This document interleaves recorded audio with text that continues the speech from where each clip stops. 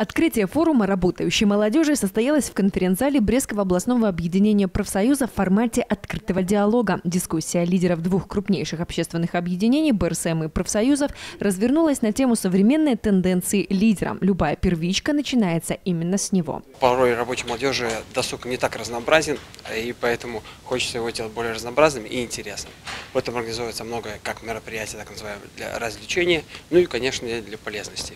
Прошлом лидер Белорусского республиканского союза молодежи, яркая, активная, целеустремленная Оксана Высогродская не случайно была избрана председателем Каменецкого районного объединения профсоюзов. Свою молодость девушка отдала молодежной организации. Ее заслуги до сих пор ценят и уважают. Работу ставят в пример. За личный вклад в воспитание молодежи и реализацию значимых проектов Оксана Высогродская была награждена почетной грамотой. Все важные события у меня именно были связаны с БРСМ. Это поездки, это турслет, работы, это встречи интересные с молодежью, это новое знакомство.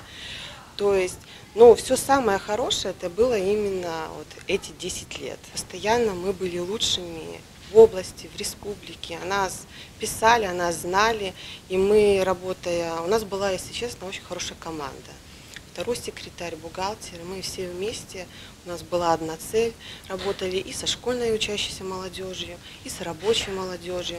В таком формате форум работающей молодежи состоялся в первый раз. Лучшие 30 представителей первичных организаций БРСМ съехали со всей области. Главная цель – создать совет молодежи, в который войдут лучшие ее представители. Для чего он создается? Для того, чтобы решить и проблемы молодежи, поднять этот пласт проблем, чтобы мы могли быть услышаны из первых уст.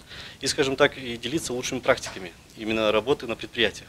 Потому что у нас есть предприятия, где очень хорошо налажена реализация государственной молодежной политики, а есть предприятия, где это нужно необходимо подтянуть. У каждого предприятия есть своя специфика работы с молодежью, у каждого предприятия есть э, своя специфика вообще, про профильное предприятие. Поэтому, э, конечно, мы хотим вот э, создать такой вот кластер, так сказать, и понять, вот чем интересно, вот чем, что интересно для молодежи именно работающей. Завершился форум экскурсии по предприятию Банше, а также Центру наглядной профилактики.